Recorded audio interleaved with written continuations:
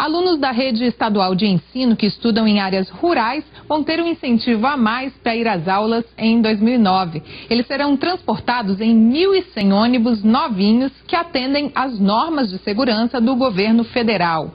O contrato de compra das primeiras 630 unidades foi assinado nesta terça-feira em Cascavel com a presença do governador Roberto Requião. E a Paraná Educativa transmitiu a cerimônia ao vivo. A assinatura do contrato da compra dos 1.100 ônibus destinados ao transporte escolar aconteceu na sede da indústria de ônibus Mascarello, empresa que venceu o segundo lote da licitação do governo do estado e que vai entregar mais de 600 veículos. Diversas autoridades de Cascavel e região, representantes da comunidade e funcionários da indústria acompanharam o governador Roberto Requião neste ato solene.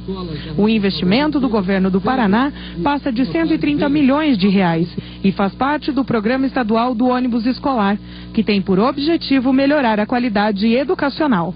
Todos nós paranaenses estamos de parabéns hoje.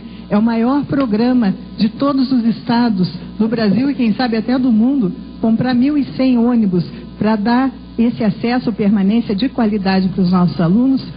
O Paraná está de parabéns. E acredito que cada um de nós né, sabendo que vai ter uma educação melhor no Paraná, também estamos. Para a empresária Celinha Mascarello, a assinatura deste contrato de compra de ônibus deve gerar centenas de empregos em Cascavel. Graças à sua ação, governador, a Mascarello está na contramão da crise. Senhor governador, é, é muito gratificante terminar o ano e iniciar um novo ano com essa boa notícia que o senhor traz para o nosso Estado.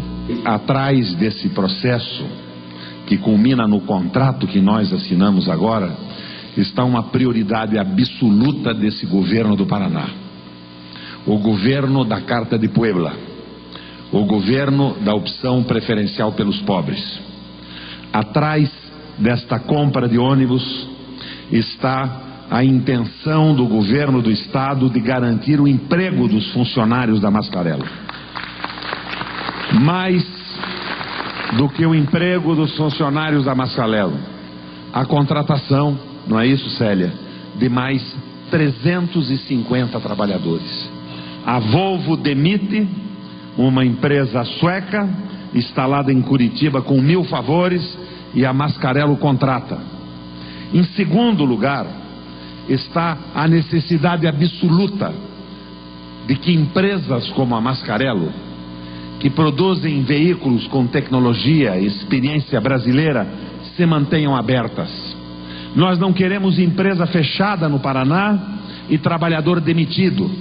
A grande luta é pela manutenção dos empregos. E, atrás disso tudo, uma moldura de fundo absolutamente necessária, a melhoria da qualidade de educação.